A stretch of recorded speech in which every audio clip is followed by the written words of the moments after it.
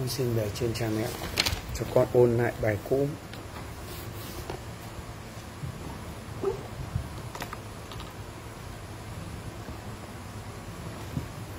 Con à, lạy trời lạy phật lạy cha mẹ mẹ.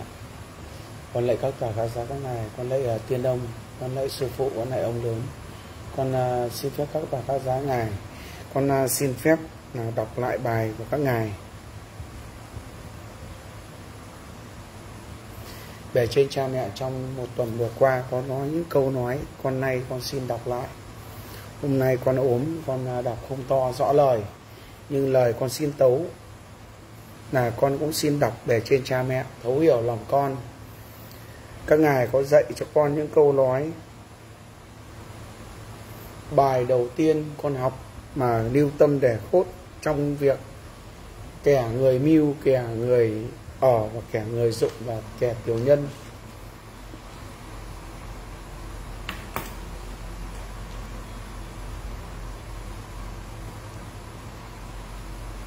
Dạ. Con à, xin phép bài của các ngài. Câu nói các ngài dạy con, hoa thơm cúng phật. Bài này dạy về cách đối người xử thí. Hoa thơm cúng phật bài này dạy người sử ký, nói về cách mà dụng người và những kẻ mượn hoa cúng phật ở người trần con có câu nói là mượn hoa cúng phật nhưng thánh nhân về dạy, hoa thơm cúng phật của đi trộm về. Thành tâm kính lễ bụng đầy nguy si. Suy thân suy tính cho lòng được hơn. Thân thua thiệt hơn, cả rồi cũng không. Được chi được mất bên nào lặng hơn. Phân tâm cho tỏ, chọn chi đúng điều. Thân mang thêm tội, khổ cực, ai dày. Thân tâm thêm nặng, chỉ chờ tại thân. Bạch bề trên cha mẹ. Bài này con xin đọc lại. Hoa thơm cúng phật của đi trộm về. Thành tâm kính nế bụng đầy nghĩ suy. Suy thân, suy tính cho lòng được hơn tham thua thiệt hơn, cả rồi cũng không. Được chi được mất, bên nào lặng hơn? Phân tâm cho tỏ, chọn chi đúng điều. Thân mang thêm tội, khổ cực ai dày. Thân tâm thêm nặng, chỉ chờ tại thân. Những kẻ hoa thơm cúng phật của đi trộm về, thành tâm kính nễ bụng đầy nguy si, suy thân suy tính cho lòng được hơn tham thua thiệt hơn cả rồi cũng không được chi được mãi. Bên nào nặng hơn, thân tâm cho tỏ, chọn chi đúng điều. Thân mang thêm tội, khổ cực ai dày. Thân tâm thêm nặng, chỉ chờ tại đây. Bài chi sách bút các ngài đã dặn. Chữ chi các ngài đã dạy những kẻ này khổ lời thôi.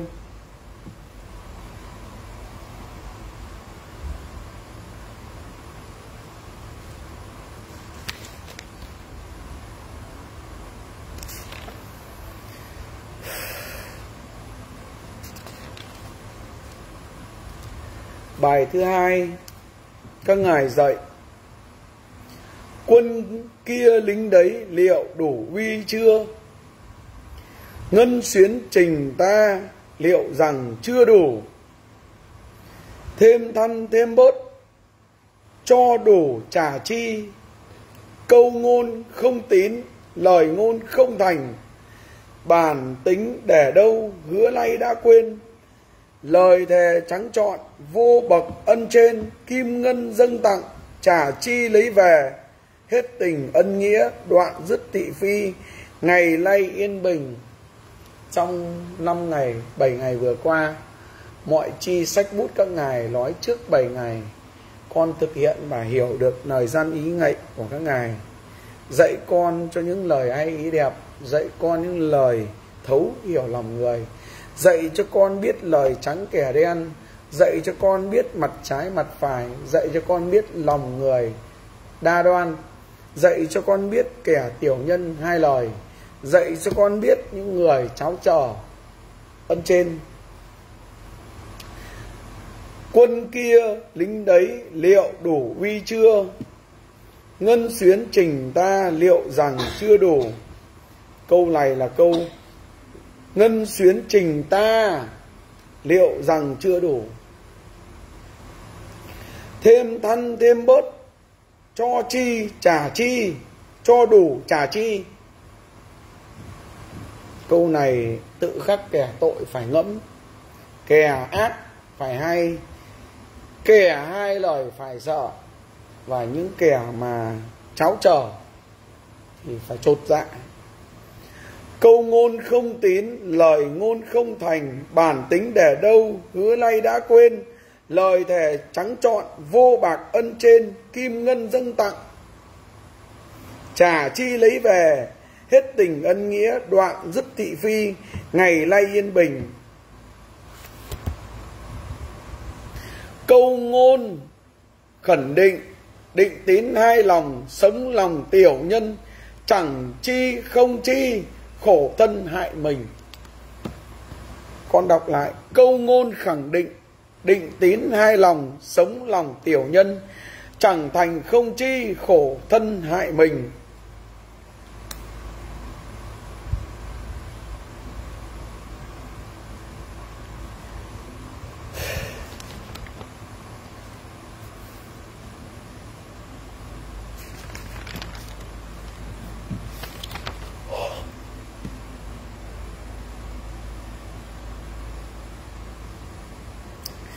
Cho người dân đường chỉ lối, lời kia bác bỏ không tin, vận số chẳng cãi lại trời.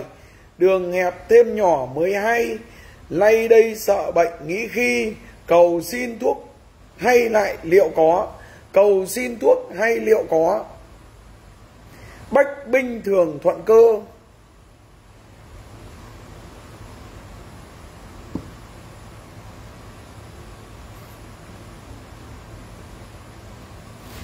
quân cơ nghiêm khắc trị binh, quyết việc nay làm yên thân. Si người biết nay hối hận, lòng không kịp sửa đã thôi. Tướng nghiêm, binh thấy lẻ phần, cứu nguy lòng người cứu tâm, thật hay xử lý việc quân. Tâm thành cho được đủ vui, từ nay việc đã sáng minh. Tướng binh nghiêm khắc một đường, việc sẽ ban thành cũng lên khổ chi cũng chỉ tại người, đừng đem tâm bề nghĩ suy. Cứu người, cứu nguy cũng đã được thời, lòng buông cũng bỏ đó thôi. Gian nan khổ ải qua nhanh, không ngẫm bài học trả ơn.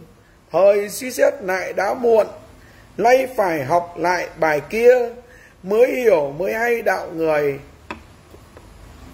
Ân giao nghĩa tuyệt, đừng mong nhìn về bài này các ngài vẫn nhắc câu cuối. Ân giao nghĩa tuyệt đừng mong nhìn về là không cho những kẻ cháo trở đấy quay về. Nhìn về bề trên cha mẹ các ngài. Thời nay sáng khỏi nghĩa đã yên bình, lòng nay thanh nhẹ, làm chi cũng yên. Biết mặt, biết lòng biết tâm, chi tỏ.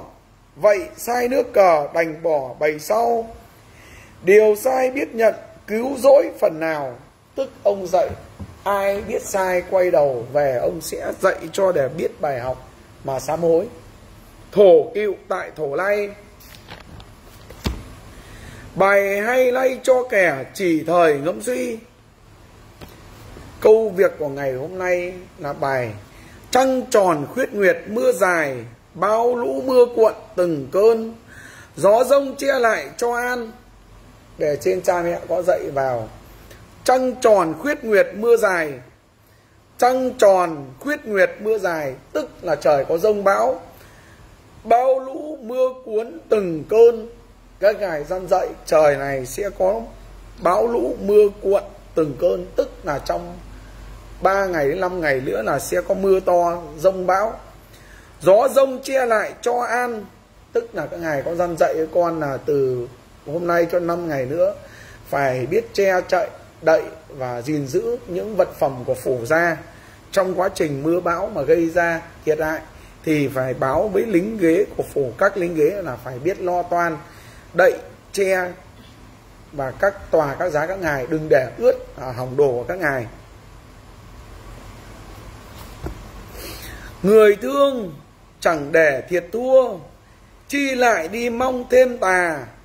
Ông có dằn dạy người thương chẳng để thiệt thua thánh nhân đã thương thì chẳng thiệt thua ai cả. Chi lại đi mong thiên tà. Ở đây là tại sao lại đi mong thiên tà là gì? Tức là gì? Tà tâm. Sinh ra tà tính. Tâm không phụng thờ đủ tâm. Tâm không phụng thờ đủ tâm là trách cho những kẻ tâm không có mà cứ nói mồm phụng thờ. Kêu cầu bái lạy cho xong, mồm nói xuông để đấy không làm đến nơi đến trốn cuồng điên tâm loạn mù lòa những kẻ đến đây làm cuồng điên tâm loạn mù lòa tức là xin rồi, nghĩ mình rồi, tâm mình bất an, lòng bất tín, kẻ bất trung. Cuồng điên tâm loạn mù lòa việc chi cũng làm mưu kế, ăn ở với nhau hai lòng hai mặt, cháo chờ nói xong nuốt ngay, hèn hạ và mưu kế tính toán hơn thua. Tâm họa chẳng ngay trước mắt. Tâm họa chẳng ngay trước mắt. Những kẻ này thì đã có tâm họa, ngày nào cũng chả yên. Nhà cũng không yên một ngày. Nhìn đâu cũng thấy lửa đọa mắt, đọa đầy thân xác. Nghĩ là sẽ thành ngờ đâu. Tưởng rằng là mọi việc chối bày đã xong. Nhưng ai dè các ngài đâu tha. Oan gia trái cầu của mình nghiệp do mình tạo ra, mà lại đi phủi bay do người khác làm. Đã thành đại việc mừng chi? Tưởng đã thành đại việc mừng chi? Tưởng chừng đã dứt đoạn những việc oan trái này, hay là nói xong tưởng rằng trả đọa vào người, nhưng những kẻ này thì lại khổ. Họa này cho thấy cho làm làm ra rồi lại chối tội đổ người khác. Nên các ngài mới nói là, họa này cho thấy cho làm đã làm ra rồi nhưng chối tội thì cho mày phải tội. Mở to đôi mắt mà trông. Các ngài có răn dạy nói là những kẻ nào ăn không nói có sàm ngôn lộng đạo, các ngài sẽ cho chống mắt mà nhìn. Sẽ nhìn thấy từng đứa, từng người một, rồi biết thánh các ngài là là như thế nào. Đào chôn dưới đất liệu có làm không?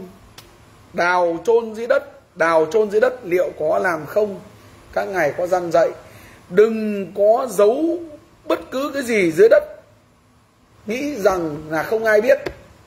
Đừng nghĩ rằng ăn gian nói dối với các thánh là các thánh không biết. Vì đào chôn dưới đất liệu có làm không? Các thánh nó nói, giấu gì sau lưng, giấu gì trong lòng, liệu che được mắt thánh không? Đạo tâm đủ đầy mặc sức mà xin. Các ngài có dăn dạy rằng, những người có đạo trong tâm đủ đầy mặc sức mà xin, lính ghế tâm thành sẽ đủ chứng cầu. Cho kẻ tâm đạo mù lòa thấy chi? Ý nói cho kẻ tâm đạo, kẻ tâm đạo là cái câu này không tốt, mà những kẻ này là tâm địa, mù lòa thấy chi? Cho kẻ tâm địa mù lòa thấy chi, nhưng câu ý các ngài là câu ngôn, luận trong từ hiểu tâm. Cho kẻ tâm đạo mù lòa thấy chi, khổ ải gian lan khổ ải gian chuân thử sức lòng người, mới qua tân ải đều quay đi. Tức là thử thách lòng người thì tất cả đã quay lưng với ngài, với ông lớn. Tâm thành đâu chứng kẻ chỉ miệng môi tâm thành đâu, kẻ lịnh bợ, lịnh hót, xua lịnh, những kẻ nói môi, nói miệng. Chỉ xin ngân khố mà lòng có chung, mở mồm ra xin ngân khố, xin tiền của ông. Thế nhưng mà đâu có chung. Chư tín đạo thành nấy làm gương xếp xếp cho trung tín nghĩa thành có công. Tức là các ngài xếp cho trung tín nghĩa thành có công bây giờ phải là trung tín. Ông chỉ cho những người trung tín. Còn những kẻ mà tiểu tiện hay là những kiểu tâm đạo thì làm sao mà hiểu được? Đau thân quặn lòng mới thống, mới thấm khổ. Âu suy nghĩ lại, bệnh thêm tâm, học chữ buông bỏ, dứt nời, dứt rời. Việc ngay thẳng thắn, đúng làm thôi. Nghiêm minh sáng tỏ, đều ý quân cho thành được việc thêm sức kia. Lay đây cân ngôn ý tượng, ý trượng thời, uy danh tín nhiệm người hung tung ngô. Chớ vui ghi tâm bài học trước, khiêm nhường thân mình yến vui. Ý ông dân dạy, sống gì cũng phải hiểu, làm gì cũng phải biết có trời, có đất. Dương cầu ủy tân phong, sức tay thân mình chỉ kêu cầu, người lay chịu khổ mới sợ kia mâm to cỗ đầy toàn ở chi, lòng xin kêu cầu lại ở đây. Mâm cao cỗ đầy, đi các nơi thì mâm cao cỗ đầy, dâng lên. Há mồm lòng xin kêu cầu lại ở đây, mà xin ông thì lại ở nơi đây của ông. Mà lại không biết đến ông. Câu này nhắc cho những kẻ xin ông. Đi chỗ nào cũng xin được, mâm cao cỗ đầy. Lòng xin kêu cầu lại ở đây, tức là kêu cầu xin của ông. Nhưng đâu biết đến ông đạo thành đạo đạo thành đại đạo có nghĩa không? Tức vứt đi hết những người ăn không nói thành thành được. Mồm nói có đạo nhưng đâu có đạo. Bởi vì đạo thành đạo có nghĩa không? Đạo không sinh ra đạo. Không học đạo để có đạo, mà học đạo để vận đạo. Học đạo để hành đạo, chứ không ai có từ đạo thành đại đạo có nghĩa không? Đạo không tự sinh ra đạo tức là có học thức, không sinh ra học thức mà không học thức. Phải học thì mới có học thức. Đây lại tự mãn mình có học thức hơn người, lại sinh ra học thức của mình, chứ không phải là do học được mà có học thức. Nên là các loại này là lộn đạo, bù đạo và loạn đạo. Tự mãn những việc mình làm, nghĩ rằng đã đúng. Khổ cầu thua thiệt chưa bù đắp, thương tay cho phận người bé kia tâm tôi chẳng nói lòng thành nhất, tu rèn trí luyện có ngày vui, yên danh lòng cầu sẽ có quà. Minh cầu đại bảo nhất thước kia, trung âu lòng đại được sự đây. Ngài dạy con những câu này, không có sai. Người khôn kẻ dại cũng chỉ dụng, đừng thân tin kẻ lợi dụng đây. Ông có nói là đừng tin những kẻ lợi dụng, chúng chỉ là những người đục nước thêm cò và đục nước, thêm vui thôi. Vượt của cũng làm tin mục đích, âu cho thiếu gì mà để tâm. Thân diện ung dung tỏ rõ ràng. Bạch ông, việc ông dạy những gì sơ sự này đều có chi? Con đã hiểu những người ăn kẻ ở, người tâm và người đạo. Danh diện ban cho sẽ tu sửa thêm lần. Nhất chi duy nhất chỉ một cùng nay thôi nhớ câu ghi nhớ lại điều này đó thôi. Ngày dài chọn lựa sẽ chọn ngày lành cho, tu danh ngôn, ngoan đạo cho diện ngày thêm sang. Bạch ông, câu này ông dạy con. Trí tâm trí lòng đắc quả thành tu. Con lạy ông, bạch ông ông dạy con chữ chi là chữ thiên mệnh. Những sách bút này lời hay, đẹp, dạy dăn cho con những kẻ ở bên cạnh, dạy dăn cho con những kẻ đối xử, dạy dăn cho những kẻ làm việc trái tâm, dạy dăn cho những kẻ nói lời, nuốt trôi, dạy dăn cho con những kẻ tu không thành đạo. Nên con tự khắc con biết những người này sẽ khổ ở mức độ nào. Ông có dạy con câu cuối, thị phi phân kia đã mệt, đừng thêm thị phi, lay về người, tránh khẩu câu ngôn nói nhiều lời. Thất tâm ấm lòng rồi sẽ yên. Bạch ông con đã xin với ông là từ giờ là con không cần phải để ý, không để tâm với những kẻ vậy. Bởi vì những kẻ vậy thì đọa vào thân mệnh khổ, giống như câu ông có nói với con. Vạ từ ngôn từ miệng mà ra, họa tự họa tự không tự mọc mà lên mà thêm. Thân khẩu ý niệm, đem bệnh tật, nghiệp, chướng đạo đồng thân xác khổ. Của trời tham làm để làm gì? Của trời tham lam để làm gì? Hối cải ngay lòng sửa mặt ngay. Hối cải ngay lòng sửa mặt ngay. Đau thân quặn lòng mới thấm cổ ý ông nói những kẻ này thì khổ rồi. Bạch ông không chấp, cũng không chi, và cũng không kể, cũng không cần trong những ngày vừa qua 7 ngày vừa qua, lần lượt những người nói con tự đi sửa miệng, sửa môi. Con nói lại lời của ông, bảy chữ của ông. Và từ ngôn, từ miệng mà ra, tất cả những kẻ đấy, từ mồm, từ miệng mà vạ ra với nhau. Họa tự không tự mọc mà mà thêm, tức là họa tự dưng không mọc, nhưng tự dưng mọc thêm mọc ra ở người. Thân khẩu ý niệm, đau bệnh tật. Bây giờ có những kẻ phát bệnh. Khóa khùng khóa dở khóa điên khóa dại, tức là tự dưng ở người cứ khùng khùng điên điên lên. Nghiệp chướng đạo đồng, thân xác khổ. Nghiệp chướng đạo đồng, tức kẻ nào nghĩ mình có đồng căn nính quả có thánh trong người, thì thân xác khổ. Tự dưng bị đọa vào những việc này là khổ rồi của trời tham để làm gì? Ông có nói những việc bổng lộc của ông. Của trời tham lam để làm gì? Tham rồi thì những cái gì? Hối cải ngay lòng sửa mặt ngay. Cháo trở trơ chẽn, phủi mặt. Lấy của ông rồi lại kêu không lấy. Đau thân quặn lòng mới thấm cổ. Nên việc này là những người đấy, đau thân quặn lòng mới thấm cổ việc thánh ông dạy con không cãi chi. Lời ông nói ra như tựa núi sơn. Bạch ông, con thiệt, con thòi, con không kêu. Ông dạy sách hiền về con đọc đúng sách của ông chi. Lời chi trong sách của ông đều lời tỏ. Còn những ai mà đã ở trong việc của ông, tự khắc ông cân cho bút đỏ, ông bỏ bút đen. Và tự khắc ông chấm cho bút đen vào trong chi đạo đồng, thì những kẻ đó tự khắc phải khổ. Bạch ông, trong những ngày vừa qua, rất nhiều người cháo trở mặt, cháo trở với con, lịnh bợ con, lịnh bơ, lịnh đít con, và lịnh nọt con. Con cười, con buồn, bởi vì con cười buồn là gì? Sao họ lại vạ từ ngôn, tự miệng mà ra tại họ không biết từ họ làm nên? Họa tự không mọc mà lên. Rõ ràng mà họa đâu có phải là tự họ đã gây ra đâu, mà họa này là tự họ gây ra cầm họa, chứ không phải là họ tự dưng họ bị họa. Mà họa này là do họ gây họa ra, họ tự họa.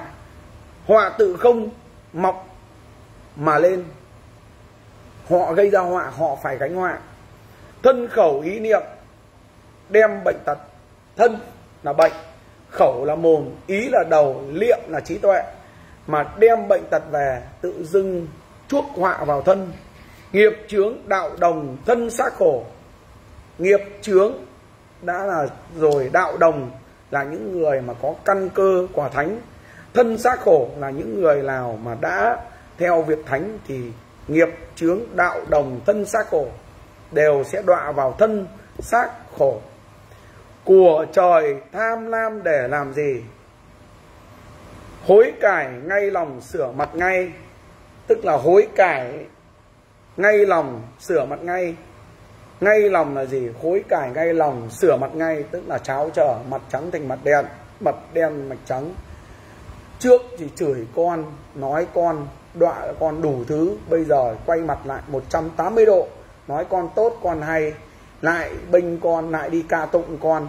Trước thì chửi bới, nói con đủ thứ. Giờ lại quay lưng, lại đi nói người khác. Đau thân quặn lòng mới thống khổ.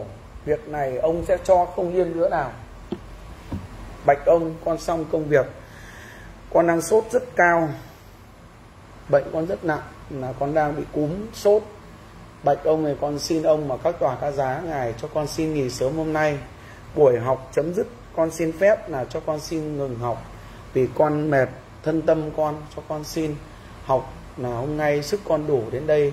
Con xin tấu ông, đêm mai học tiếp. Con bạch các tòa các giá các ngài. Đệ tử con, học chữ thiên mệnh, mọi việc con xin hòa. Ai nói còn cái gì, con xin nhận hết. Đúng như ông dạy, ngươi cứ nhận hết những tội, những người nào đổ cho con ngươi sẽ yên tâm một điều là mọi việc tự thánh các ngài cho được hay không? Việc con con làm, việc người người làm, sách bút các ngài ghi rõ trong đây nên là lời hay ý nguyện lời tâm ý thành, chứng cho những người có đủ đạo và tâm. Chứ còn những kẻ tâm đạo không để ý làm gì, những kẻ tâm đạo là những người không tốt. Tâm đạo mà những người đạo tâm nó khác nên hai từ này, ý uẩn của các ngài tốt xấu. Nên là những người luôn mồm mở miệng mình con nhà thánh, con nhà đạo, nhưng thực chất lại không hề có tí tâm đạo. Toàn kẻ đạo mù, đạo mê, ngộ trong tâm tà, ngộ trong tâm tính, ngộ trong nghiệp chướng, ngộ trong khẩu nghiệp tâm can. Nên là đang lửa trong thân mệnh, cháy ngày, cháy đêm, đâu biết mình có nghiệp chướng mình tạo ra mà cứ há mồm ra nói là đổ tội cho người này, nói người kia ác, người này lừa, người kia nói dối. Đọa từng câu từng ngày, một mà vẫn không hối lỗi từng ngày. Bạch ông, con xin ông, con nhịn tiếp tiếp tục con lại nhịn, bởi vì con hòa cho họ được, cho họ nói đúng nói hay, chứ con không cãi lại. Ai đổ con gì con nhận hết. Bạch ông ông có nói con câu cuối. Thị phi thị phi thân kia đã thị phi thân kia chi đã mệt. Tức thân con đã đau khổ lắm rồi. Nghĩ là mệt mỏi lắm rồi. Thôi, buông bỏ đi. Đừng thêm đừng thêm thị phi nay về người. Nên con xin phép buông bỏ hết. Trách khẩu câu ngôn nói nhiều lời. Phần tâm ấm lòng rồi sẽ yên. Nên là đừng có đối đáp lại những người nào nói. Tự khắc chúng nó khổ, chúng nó đọa đầy. Nên là không trách, không chi, không oán ai nói mình ai nói gì mình mình cứ cho họ đúng. Đừng cãi lại họ, thế tự khắc họ đọa đầy. Nên là có câu là trách khẩu, câu ngôn nói nhiều lời. Nên là các ngài mới nói là không lên nói lại. Ai nói gì, im lặng hết, mọi việc sẽ qua. Bạch các tòa các giá ngài, thánh có mắt. Lời ý các ngài trước đây 7 ngày, nay con xin đọc lại. Thật ra các ngài nói trước khi nó xảy ra, nhưng đúng thật sự 7 ngày vừa qua các ngài đã viết quyển sách này ra và bây giờ con đọc lại, tường thuật lại, hôm nay ngài muốn cho con đọc lại, để cho những người hiểu sẽ hiểu. Kẻ nào mà có tội trong quyển sách này thì tự khắc về ốm đau, sinh bệnh, mất ăn, mất ngủ ra đạo không yên, lửa cháy trong lòng ngày đêm, đốt cháy, nên là sẽ không yên, không ngủ được. Nếu mà những người nào mà đã hiểu được câu chuyện thì tự khắc hối cải mà quay về sám hối với ông. Còn ngang, còn cố, còn ngược thì tự khắc lửa cháy trong lòng. Không yên một ngày nào. Bạch ông, con xin ông, việc thánh đã chi, việc quân đã tỏ, việc tướng đã rõ và việc binh đã thành thì mọi việc từ giờ trở đi, con cũng an nhiên với ông. Mọi việc tiền mà con xin ông là bạch đòi bao nhiêu, giả đủ bấy nhiêu, không nói lại câu gì, thì con nạy ông, con cũng đúng thực hiện như lời ông. Tiền của ông mà, chứ không phải tiền của con. Việc nhà ông mà, chứ không phải việc của con. Nên là bất cứ kẻ nào đòi bao tiền, giả cho đủ và thậm chí cho hơn, để rồi sẽ biết thế nào là uy của ông. Nên con thực hiện theo cách của ông, chứ không làm theo trái lòng trái ý. Nên là con xin phép ông đồng tiền thánh nhân có mắt, chứ không phải là thánh nhân mù mờ. Có câu nói của ông là vuốt mây che trời, nghĩ rằng đã xong. Bạch ông, xin dân ông, xin dân các tòa. Các ngài có dạy là vuốt mây che trời, tưởng chuyện đã xong. Bạch các ngài, câu này ý các ngài nói, những kẻ nào vuốt mây che trời, tưởng chuyện đã xong thì tự khắc, ông sẽ trị cho từng người một. Còn những kẻ nào mà ăn cháo đáy bát, cháo trở với ông, cháo trở, lời thề cũng nuốt trôi. Tưởng chi, tưởng đùa, lời thề cũng chốt trôi. Nên là lời ông nói mà không biết, thì ông trị cho biết lần này cho tất cả những kẻ này sáng lòng ra biết mình là ai chứ đừng uẩn mình nghĩ kẻ tâm đạo. Câu tâm đạo ở đây không phải là câu tốt mà đạo tâm mới là tốt.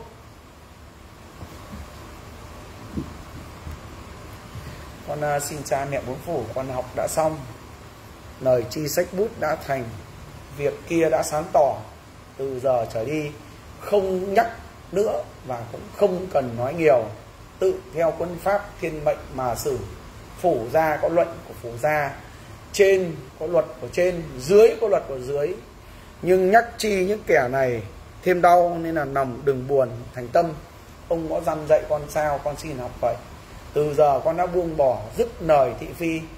Không đem về phủ một bất cứ chuyện nào à, cũng xin phép. Con cũng theo lệnh của ông đuổi và tống cổ những kẻ ăn cháo đáy bát mà sằng bậy thị phi trong những ngày vừa qua tuyệt giao không cho bước chân vào phủ. Và những kẻ đấy không bao giờ cho được phép bước chân vào trong cái phủ này theo lệnh của ông. Con xin phép y án theo lệnh nhà ông, quyền ông phép ông. Kẻ tâm đạo và kẻ đạo tâm, hai kẻ đấy đều có đạo. Nhưng tưởng chi đã là sáng tỏ. Bởi vì ông có nói một câu, học đạo không tới, ắt sinh lòng tiểu nhân người học đạo đã tới thì sinh lòng lòng gì? Chữ hòa trong tim, chữ hòa trong tâm. Đâm là ai nói gì cứ cho họ đúng. Ai nói gì cứ cho họ hay, ai nói gì cứ cho họ là chuẩn. Còn không cãi lại, đặt điều đâu bao nhiêu tự khắc các ngài kê cho đủ. Thánh về trị đòn chứ không cần người trần trị nhau. Bạch ông con xin phép ông con nghỉ. Con khóc, con nội già con xin các bà một đêm khi học nhiều chuyện, khi mà xảy ra mọi việc đều các ngài về ứng trước, và các ngài viết ra, các ngài cho viết ra giấy, ứng cơ viết ra giấy. Nên các ngài răn dạy rất là khắc nghiệt khắc nghiệt lắm. Ai mà hiểu về đạo thánh thì các bạn sẽ hiểu về đạo trời. Mà những sách bút này mình học hàng đêm, bởi vì tại sao mình học? Hàng đêm là ngồi quỳ và học ngày mình ốm mình sốt mình rất là sốt cao rất là mệt vì mỗi một đêm mình phải học rất nhiều những sách bút này có những câu hiểu có những câu không hiểu phải dùi mài học ngày học đêm ấy. nên là các bạn phải hiểu là đừng trách mình và đừng có những câu nói là mình thế loại thế kia nhiều khi ấy, có những câu nó buồn cười lắm mình chỉ cười những người mà cháo trở hai mặt hai lòng nói những lời không đúng bảo thế nọ rồi thế kia xoay hết việc nọ, xoay hết việc kia, toan tính, linh tinh ra. Nên là ở với các thánh mà hai lời, hai lòng thì cứ yên tâm đi. Trời cao có mắt, đừng tự mãn cho những gì mình đúng. Mà đừng nghĩ cho mình đã làm cái này là đúng và chuẩn mực. Thế là những việc chi này các ngài nghiêm khắc lắm. Học rồi mới hiểu được. Còn những người mà mượn sách bút của người khác, mà nói lời của người khác ấy, nó không bền. Nên là mình mới nói anh em rồi đạo chi về dạy đạo người. Chớ chi những kẻ tâm đạo mượn danh. Lời nói tuốt trôi. Con đi đâu đấy? Bố ở, bố bên kia mà. Bố quỳnh bên đây mà. Đây, ra gọi bố quỳnh đi. Đi ngủ đi, nhím bố quỳnh đâu? Dọn đồ ăn đi. Đói quá rồi, xin ông ấy ăn rồi uống thuốc. Đói run hết tay chân, mặt mày tái mét rồi. Sốt đùng đùng đùng như này.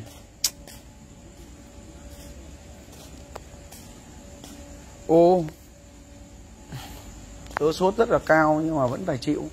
Nhím ơi, thằng quỳnh đâu rồi em? Thằng quỳnh đâu? Cái nhím đi tìm này à bố quỳnh à, bố đang đi toilet. Mình đang sốt cao lắm, bây giờ là phải ăn một cái gì đấy, xong đó để uống thuốc đỡ bị lộ lạo ruột. Đang ốm mà mình vẫn phải học, bởi vì các ngài nghiêm lắm. Không nói không thành có được mấy các ngài đâu, ở gì thì ở. Chứ ăn không nói có mấy các ngài là chết. Các ngài nghiêm lắm. Nghiêm lắm, không đùa được sống với các ngài mà cháu chờ hai mặt, hai lời là chết với các ngài ngay. Tớ đang ăn cháo đây để cho đỡ mệt mệt lắm. Tại vì người lúc này là không nhấc được người. Nó đau nhức, nó như người lên, giống như là bị covid đấy. Đau nhức thân xác, chân tay, nó đau như tử luôn, lôn nao chóng mặt. Ngồi không yên, nó vã mồ hôi. Lúc nó vã mồ hôi ra, lúc nó nó nó nó sốt bừng bừng lên, lúc nó lại trở lại bình thường xong người cứ sốt sốt nóng bừng mặt lên, người nó mệt. Nói thật mấy anh em là mấy ngày hôm nay nó mệt quá. Mệt lắm, để đi học. Đêm phải học.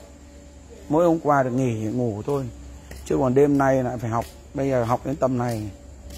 Các ngài về ứng, về bắt dạy cho từng viết một, viết ra, xong rồi để học thuộc. Xong rồi dạy cho những cái lời răn lợi dạy dạy cho chị những cái việc từ tâm mình, dạy cho những cái việc mình làm gì đúng, làm gì sai, dạy cho những cái việc mà mình đã ứng xử đã đúng chưa, mình đã làm đúng chưa, chỗ nào chưa đúng thì phải làm lại cho đúng. Sửa gì cho nó hay, nói gì cho nó chuẩn. Các ngài về dạy từng việc một, nói chung khắc nghiệt lắm. Không hiểu câu từ ngôn chữ là các ngài phụt chết. Ốm như này mà các bạn biết là tớ, tối nay tớ xin nghỉ. Ông về, ông bắt học tiếp. Quỳ mà học. Học cho thấu đi. Học cho thầm đi.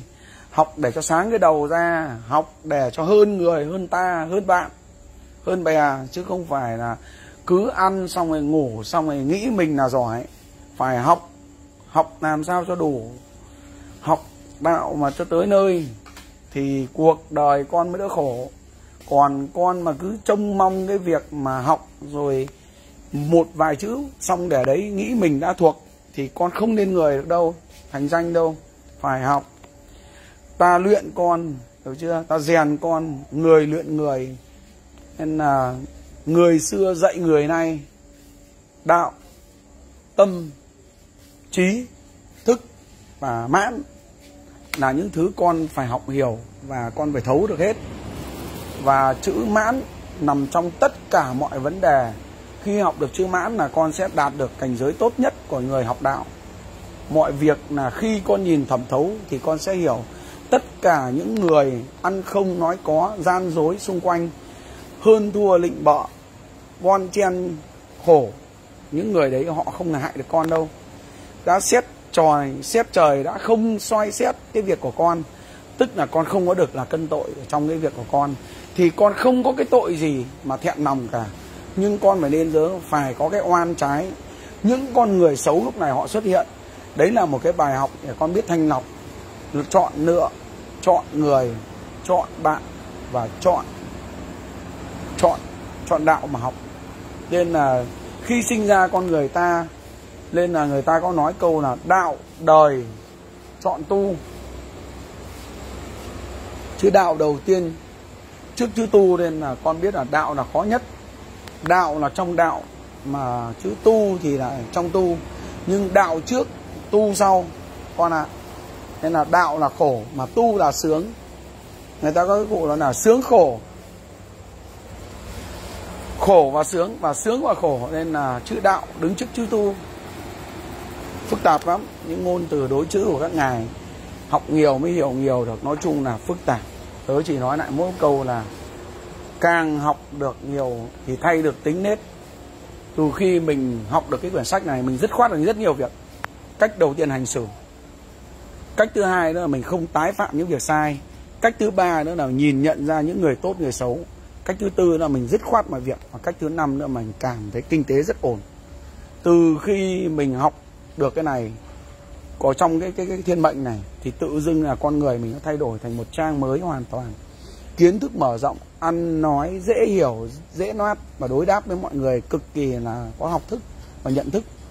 Và một điều cuối cùng nữa là trong cái quyển sách này là biến một người dốt trở thành người giỏi mà biến một người thường để làm việc trời, việc đất. Nên là cái quyển sách này nó cực quan trọng với những người tâm, đạo, liệu, thành ý ngôn thế đâm ra là hàng ngày khi học ấy thì biến một con người đang khó khăn trở thành người nhàn rỗi, biến một người đang khổ ải trở thành một người an nhiên, biến một người nghèo trở thành một người giàu, biến một người vô học trở thành một người trí thức, biến một người đang đang đang cực kỳ là vất đi của xã hội. Nên nó gọi là thiên mệnh mà. Cái từ thiên mệnh thì nhiều người giải nghĩa lắm, nhưng mà sau này các ngài mới bật nghĩa cho tớ hiểu được cái từ thiên mệnh. Thiên tức là trời, mà mệnh tức là số. Nếu như giải dịch cho một người trần chúng ta giải dịch chữ thiên mệnh tức là số trời. Nhưng các bạn sai rồi. Thiên tức là ân trên. Mệnh là tức là đổi. Tức là như nào? Một người trần đổi được số mệnh mình để trên thiên. Đấy, đối ứng lại trên thiên. Nên là ý nghĩa cái câu thiên mệnh ấy là phàm là một người trần để đạt cảnh giới được thoát tục biến đổi trở thành một thánh nhân nên là cái cái cái cái, cái thiên mệnh này ý nghĩa của nó thực sự nó là biến đổi một người thường để trở thành một vị thánh nhân. Để làm việc thánh thế đâm ra là cái quyển thiên mệnh này ấy bởi vì mình cũng trả trả nghĩa cái điều mà giải nghĩa cái câu thiên mệnh ấy là thiên là tức là trời mệnh tức là số trời tức là số trời. Nhưng không phải về sau mình được học thêm mình hiểu được thâu thì là là một người phàm trần để học được thay đổi để làm được thiên giới tức là làm người được ở trên, được được thoát tục để làm thánh nhân. Nên là bậc tiên giới là cũng học cái đạo này, đấy, thiên mệnh. Nên là những cái việc này là biến đổi một con người, trở lại một một người thường và sau đó để học và thẩm thấu và ngộ đạo, để hiểu đạo và học được chữ thánh nhân.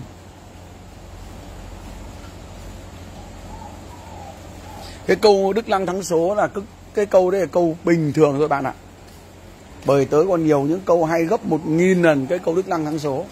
Nếu mà anh em nào mà muốn thi đấu với tớ giải nghĩa đấy, tớ cho con tớ sẽ cho anh em cái vế của cái câu này. Thì các bạn giải được thì tớ phục các bạn sát đất. Nhưng mà tớ nói thật những cái thứ mà tớ nói ra ấy, thì các bạn không bao giờ tra được trong Google đâu. Mà những ông ông nho giáo hay là ông học giáo giỏi mấy ấy đéo để nói chuyện được.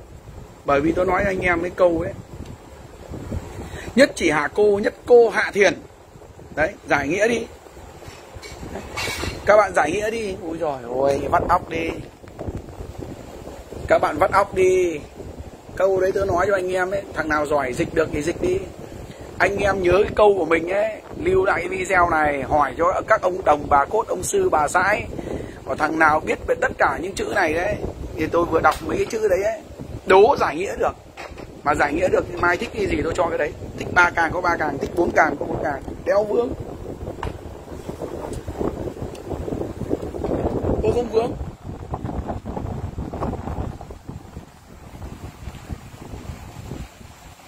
Đấy, những cái câu ấy tôi nói thật với anh em ấy, thằng nào giải được, thích xin thì tao cho. À giống như cái câu phân phi nhi cầu ứng ấy.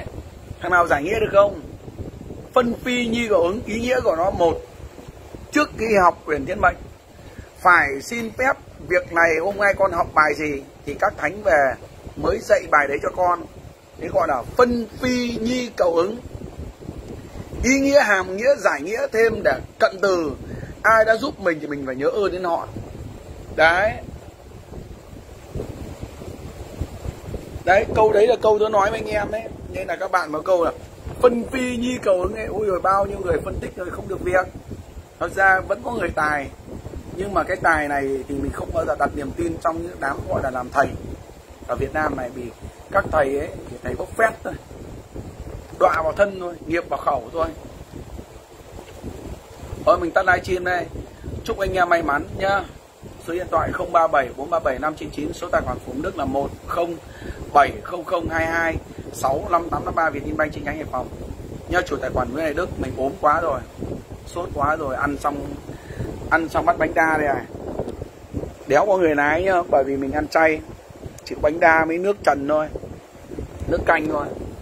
Trần lên cứ thế là ăn thôi. Nói thật sự mấy anh em, chả có thịt cá đéo đâu mà ăn, nên là mình không ăn thịt cá. Nên là ăn chay của mình ấy thì đâm ra là mình phải ăn mới uống thuốc được. Mệt mỏi lắm. Tắt live chim đây.